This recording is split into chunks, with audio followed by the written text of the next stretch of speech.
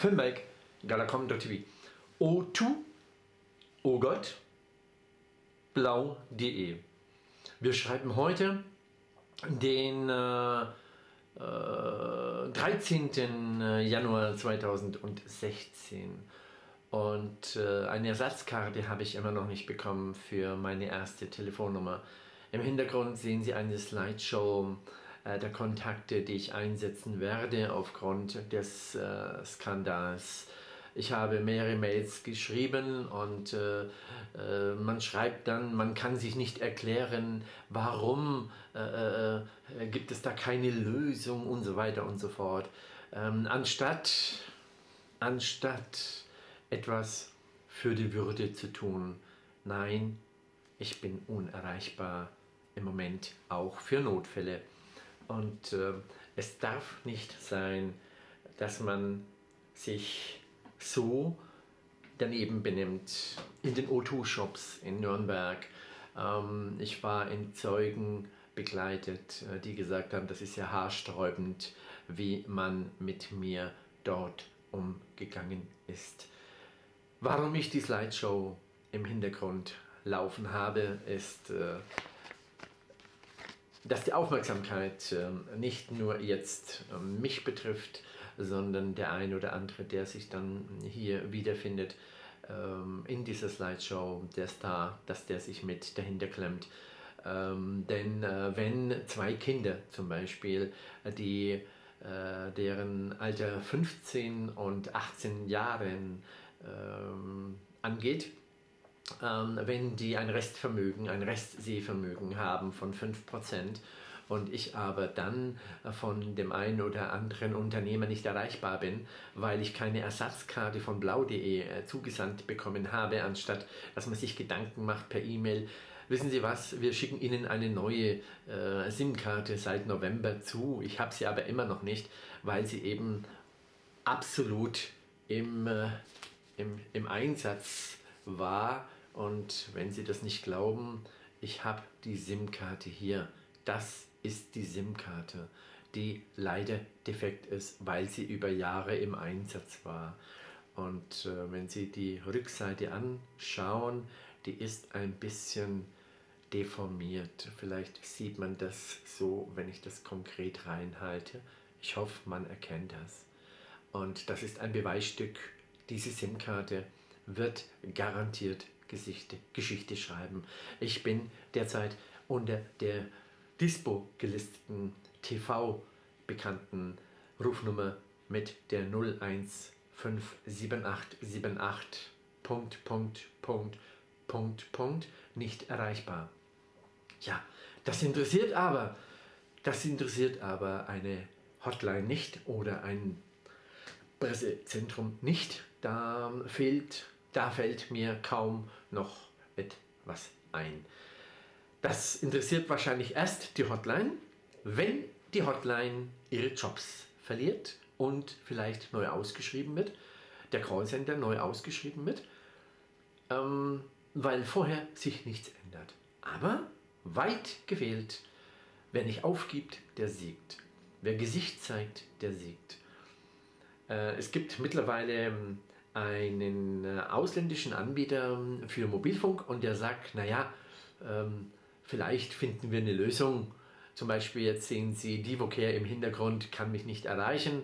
Divocare setzt sich ein für Notfälle, Präventionsdiagnostik in München zum Beispiel. Dominik Brunner Foundation für Zivilcourage weltweit, insbesondere in München, als Herr Dominik Brunner ums Leben kam bei einem Zivilcourage Einsatz, als ein Junge äh, angegriffen worden ist und er sich eingesetzt hat. Aber zurück zu meiner Blau.de-Karte. Mit Meilen sollte man da eigentlich, mit meinen Stiefeln sollte man, so wie mit diesem Logo, Logo unterwegs sein, um Perspektiven für mehr Erreichbarkeit, wenn es um Würde geht, zu erreichen. Dem ist eben weit gefehlt warum ich jetzt diesen weiteren Aufsager mache. Jetzt bin ich natürlich nicht ganz so gestresst wie bei den anderen Auf, äh, Aufzeichnungen. Ähm, da war sehr viel Stress vorangegangen. Ich bitte um Nachsicht für die Bildqualität und Sprechqualität. Das kann durchaus sein. Ähm, ich äh, bin natürlich nicht, äh, wenn es um einen Notfall geht, vorher auf einem Laufsteg unterwegs, sondern live aus dem Leben. Zurück zu einem anderen Fall. Äh, ich kann jetzt zum Beispiel auch nicht für einen ähm, Menschen erreicht werden, der ähm, Hilfe braucht, weil er eine Herzpatientin gerettet hat. Daher ist er dann ein bisschen zu schnell gefahren. Diese Herzpatientin äh, muss Medikamente einnehmen und muss an einer, ähm, an einer, an einer Bushaltestelle irgendwie eine Herzschwäche bekommen haben, wurde angerufen. Der Herr Georg Böhm wurde dann angerufen, weil er ehrenamtlich ihr so unter die Arme greift. Er fragt dann mich, was soll er tun? Sie hat das Geld nicht für einen äh, äh, Sanitätswagen, einen Rettungswagen. Und dann äh, habe ich gesagt, Georg, dann fahr du hin und fahr sie ins Krankenhaus. Das Ende vom Lied ist im Moment der Zeit, dass er ein bisschen zu schnell gefahren ist, weil er sehr aufgeregt war, hat aber umsichtig ähm, das ähm, Auto äh, gefahren, hat keinen Unfall verursacht. Trotzdem verlangt man von ihm jetzt eine eine äh, Bußgeldhöhe von, glaube ich, 150 Euro und äh, sagt sich eben, ob er das nächste Mal rettet und sich da voll ins Zeug legt, weiß er nicht, wenn er dafür dann noch bestraft wird, weil er nicht überlegt hat, den Notarzt anzurufen. Das war ja auch schon im Gespräch, aber ähm, wie gesagt, er hat mich gefragt, was soll er tun? Da habe ich gesagt, fahr selbst, wenn sie das Geld nicht hat.